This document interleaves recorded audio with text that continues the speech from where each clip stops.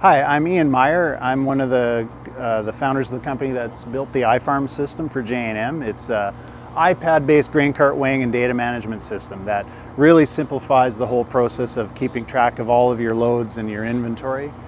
Basically, this box here, it connects into the, the, the weighing sensors on your cart instead of the standard scale indicator.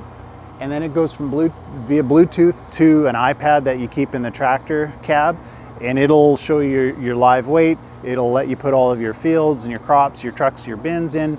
And every time it unloads, we record that against whatever field you're, you're harvesting so that at the end of the year or even at the end of each field, you got an accurate record of what was, what was harvested and you can keep track of your inventory. Where's this product going? What truck did it go on? And other features like you can run run it on your phone in the combine also as a remote display. And that way you can you can see the live weight from the combine when you're ready to unload the, the combine hopper for calibrating the yield monitor all these kinds of things. And all the data is collected on the iPad and available for offline viewing. And then when internet connectivity is enabled, it can sync it up to the cloud with our, with our free base uh, cloud service that you can add to the system. So here's the, the main screen of the iFarm app and it, it, shows you your, your gross weight on, the, on this main screen here. There's a set of buttons, tare, clear, unload, save. For the most part, you don't need to do anything with those because we'll, our default is to automatically record every load. So tare would be if you want to zero it out for some reason and clear, it kind of undoes that. But for the most part, you just let it go. So if I start unloading the cart, the weight will drop, and then we'll start to record that amount based on based on how much was was removed from the cart. And now I've stopped unloading and it'll take a little bit to save here uh, just to make sure it's finished.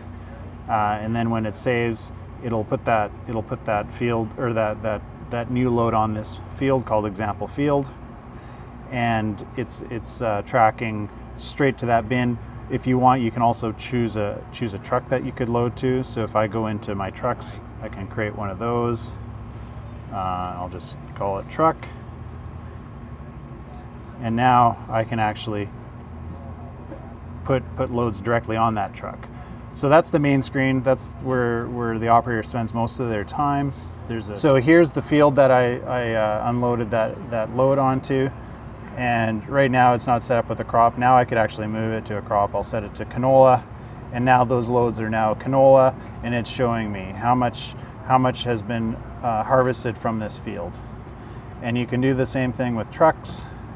You can set up your trucks. You can set up your destinations with which are which are bins or grain bags or the elevator, whatever whatever it needs to be. You can set up all of your operators um, and on this screen, it's sort of your, your calibration settings for the cart, which you'll do once a year. You'll make sure that you're, you're reading a, a good calibration, or your, your calibrations are accurate. And then you can set up whether you want to see in pounds or kilograms, uh, whether you want to be a, a, primary display, so that's the one that's in the grain cart, or the remote display, which is lets you see those live weights from the combine. And then you can sign up for, for the cloud service, we're signed into to this account right now, but uh, you can create your own account. And then all that data is backed up for you in the field. And if you've got a cell plan, it'll back it up in real time. You can see that data live uh, from, from another device. Or at the end of the day, you can hook it up to Wi-Fi to sync it.